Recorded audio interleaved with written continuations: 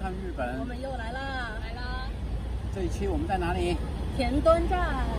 教书带你看一看田端站究竟是什么样的。好了至于田端有什么好的故事还有文化的话带着他们给你讲解 我们走走看。啊一会儿见。拜。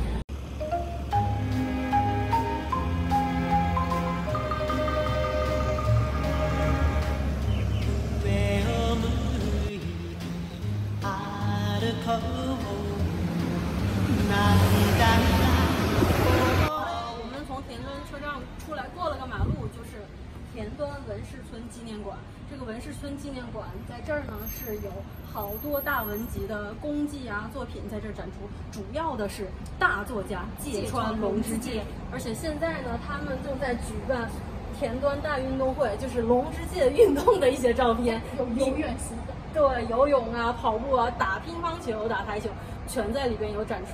大家有兴趣的话，可以届时来看一看。重要一点是什么？无料的，对，免费的。好了，我们从这个田端站走出了五分钟不到啊，我们就走到了这个名胜古迹。东觉寺，右边东觉寺，左边神社。神社，对呀，你看左中左边就是你，右边就是我。所以呢，呃，这个具体他们有什么功能，有什么历史，交给这两个美女，对，姐妹花，给他们给你们讲解。教一夫这个观光带你看日本。现在在田端的东觉寺，东觉寺呢是属于田端这个本地的呃旅游景点之一。它有一个叫七福神美独立，就等于七个神社转一圈儿，转一圈儿呢就是福禄喜寿，保保证你的什么家宅平安、身体健康、财源广进、生意兴隆。然后今天这个是叫赤指。是人王王尊，对，它是保证你的身体健康。大家一会儿进去的时候可以看到一下那边的神社上面贴了些什么，跟我们走，哪里痛哪里贴。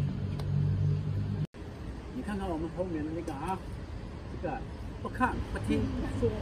不对，不对，人家这个红纸是哪儿痛贴哪儿，包真的是。啊，是这样，这个是原来是健康神策啊，就是你耳朵痛、脑袋痛、肚子痛、胃痛、屁股痛、腰痛，啪啪啪啪啪啪啪啪啪，全部请一张纸就健康了。好了，我为了我们大家的身体健康，我们来一起贴一贴。你哪里痛呀？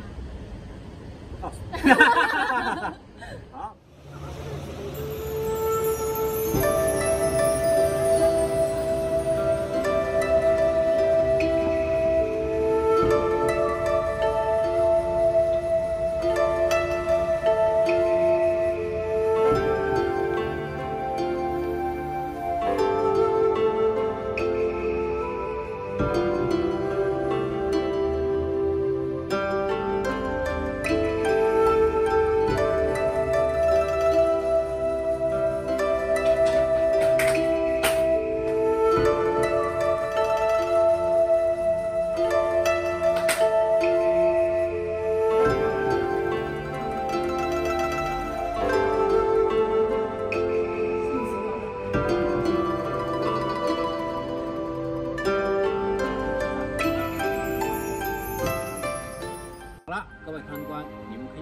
好。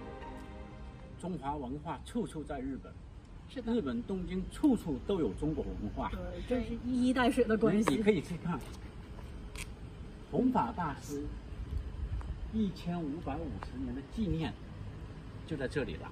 那当年他东渡取经去中国，我们你看，随便你去一个田端站，走出来几分钟就可以看到这种几千年的上千上千年的历史文化，你不觉得是一种享受吗？文化底蕴很强。对呀，没有历史就没有文化，我们还是有文化的人。好了，下一期见。节目期待哟。